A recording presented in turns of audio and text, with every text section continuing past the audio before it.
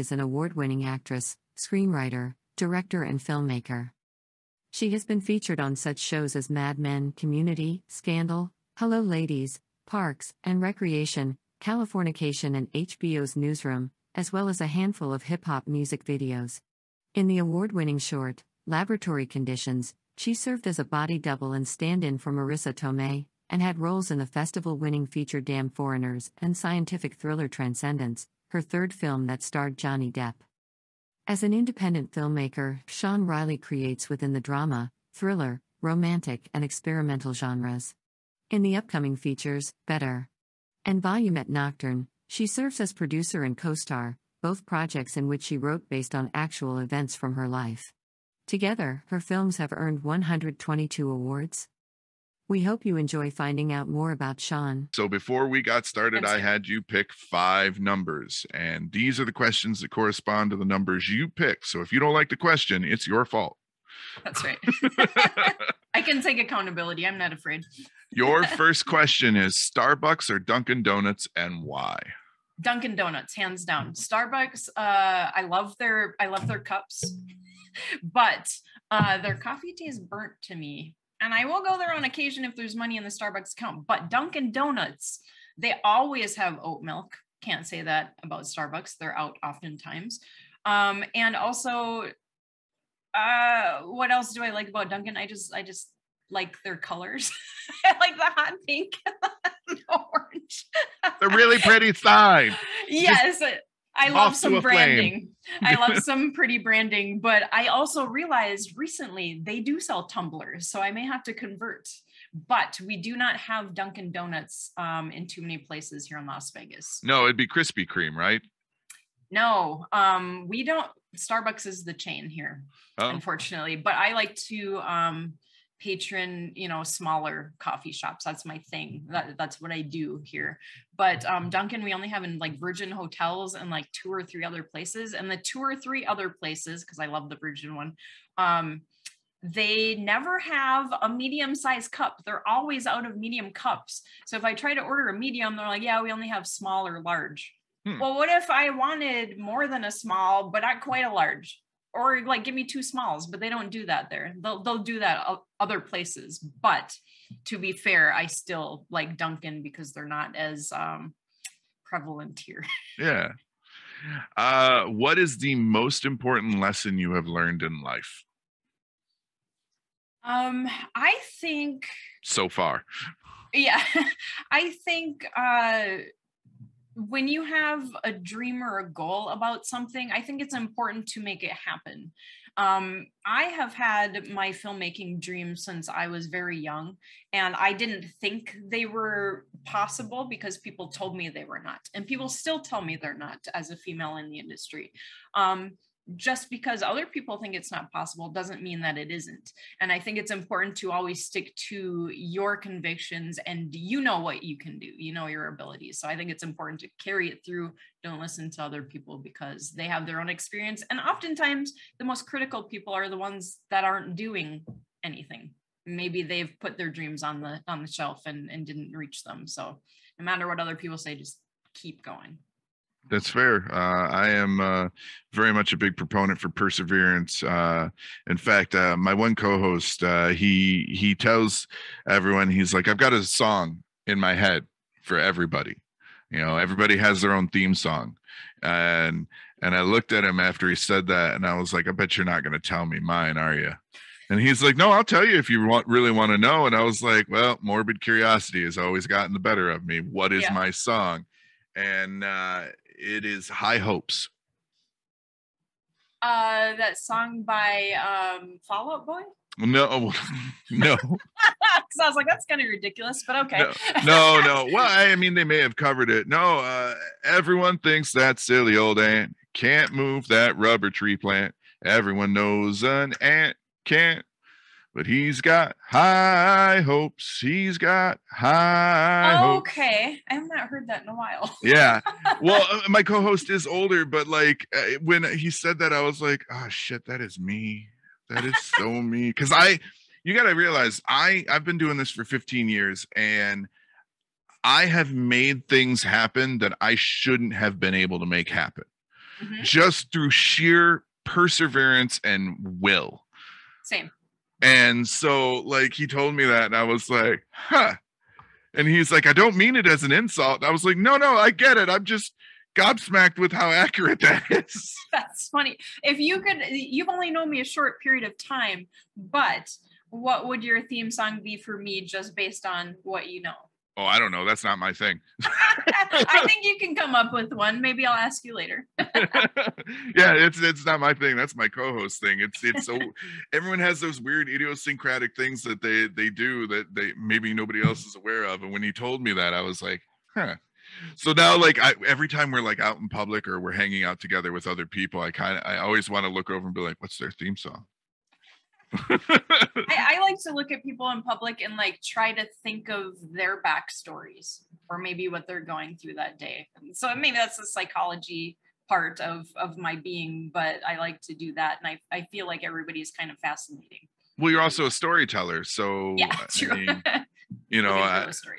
I, I used to do that too. I, I I suffered from really bad ADHD when I was a kid, and I, I realized that I could manage it on my own somewhat by going to the mall um, in my my local city, and uh, I would put like because every mall had a fountain for some reason, like just right in the middle of it in our area. Like it didn't matter if you went to your mall or a mall two cities over, they had a fountain in the middle of it for some damn reason. And uh, so I would sit with the fountain to my back and have that loud white noise. And uh, I would then try to listen to conversations of people going by trying to isolate and and learn to take in all of that sensory data and then manage it in a a wise fashion Oh, that's interesting. I have ADHD, so uh, newly diagnosed, but um, I'm going. You know, I like that. I like that. That I can It- see how that could work. Yeah and it, it helps because like now um i i have what i call functioning adhd which allows me to multitask like a son Yes. of a bitch ah but the crash is real right, right. Yeah. Some days you don't want to do anything, but then you feel bad because you're not productive. Are you that kind of person? yeah Yeah. yeah i don't do do well with uh idle time Same. What do you think is totally inappropriate but is commonly seen in today's society? I think is inappropriate. Mhm. Why did I pick that number? um, gosh, I think uh, I I don't want to single out particular groups, but uh, I think it's inappropriate to. Well, let's let's take a real example. So, say on Facebook, for example, that's a, a platform that's not my favorite for this reason, but I think it's inappropriate for people to kind of uh, rain on someone's parade right? So somebody's really happy about something, and then somebody has to come in with maybe their experience, like, oh, but you know, when I experienced this, like it wasn't, you know, like that's not necessary. I think it's completely inappropriate. If people want to have their happiness, let them have their happiness. Why? I mean, why does everything always have to be negative? We always have to turn it into something negative, I, and some people can't help themselves. Let people enjoy things. You let people enjoy things. That's right. What famous person's memoir would you love to read that you haven't? Oh, that I haven't. Oh gosh. Um, I I know one I want to reread. I was thinking about last night, but um, I threw in that you haven't at the end because that's not actually part of the question, but I assumed being that you are uh, someone who enjoys psychology and a writer and a filmmaker, that reading and especially like people's memoirs, getting into the nitty gritty of people is something that you're you're already doing. So, what's one that you've that you haven't read that you you want to? It might not even be written yet. I am the worst when it comes to reading. I'll be honest. I'm more of a book collector. I will start like five different ones at a time and never finish them. Um, probably the ADHD part, but uh, I I do love autobiographies and biographies. And I was thinking the other day about one. It's it's escaping me now. I do still kind of I don't know that I want this to be my answer though. Well, okay, let me refine the question just a little bit for you. yes, please. Um, Who is one person who you don't know a lot about, famous person, that you would like to know more about, like to to know their their story, their memoir? Um, Oh gosh. Past, present, you know, it doesn't matter. Yeah. Cuz I probably read all of the ones I really wanted to. Um but I would say I have not read, but I would like to Viola Davis's um, because I think she has some interesting stories to tell. You can even tell in her acting she has been through some things, Mhm. and so that's that's the one I was trying to think of from the other day. Um, I really want to read hers, but I have not yet. I think she's she's a very dynamic woman. She's doing amazing things in her career, so I kind of want to know the woman behind the woman. Fair enough. All right. One final interview roulette question. What terrible movie do you love? All the movies I love are not terrible. I have no guilty pleasures. I'm not ashamed. Um, I really like, and maybe it would be ridiculous to some people if they watched it today, but I really like Clueless a lot. Um, and I, it's it's not a world I could relate to at all. Um, I don't know why that came to my head, but I think of that movie, I relate to Brittany Murphy's character the most because she's not of that world either. But I guess, Wasn't Clueless a Shakespeare story?